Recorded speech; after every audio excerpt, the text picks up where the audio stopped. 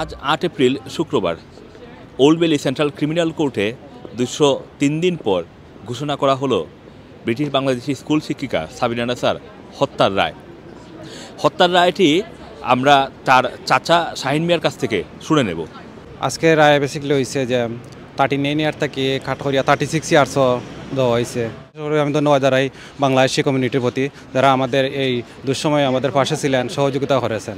হত্যার রায় ঘোষণা করার পর সাবিনা নাসার পরিবার বের হয়ে এসেছেন, এসে এখানে যারা প্রটেস্ট করছেন, তাদের সাথে দেখা করেছেন, কুশলাদি বিনিময় করেই তারা সেখান থেকে চলে গিয়েছেন। তাৎক্ষণিক কোনো প্রতিক্রিয়া আমরা পাইনি।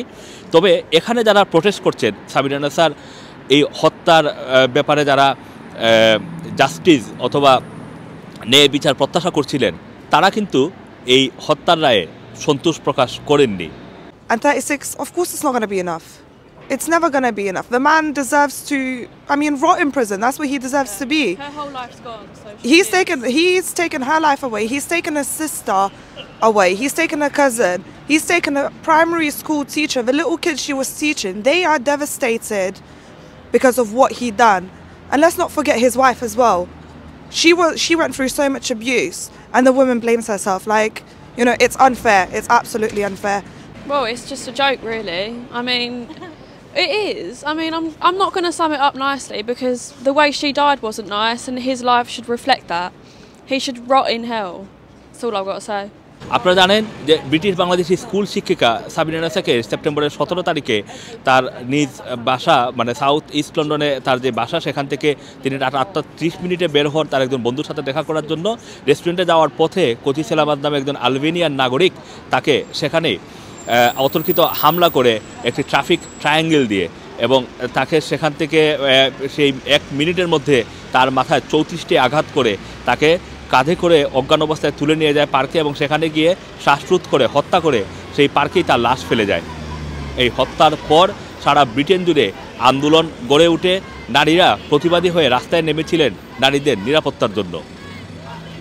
সেই মামলার আজকে প্রায় সাড়ে পাঁচ মাস ধরে দীর্ঘ শুনানির পর নানা তথ্য, উপাত্ত, বিভিন্ন প্রমাণাদি সাবমিশন করে মামলার রায় ঘোষণা করা হয়েছে।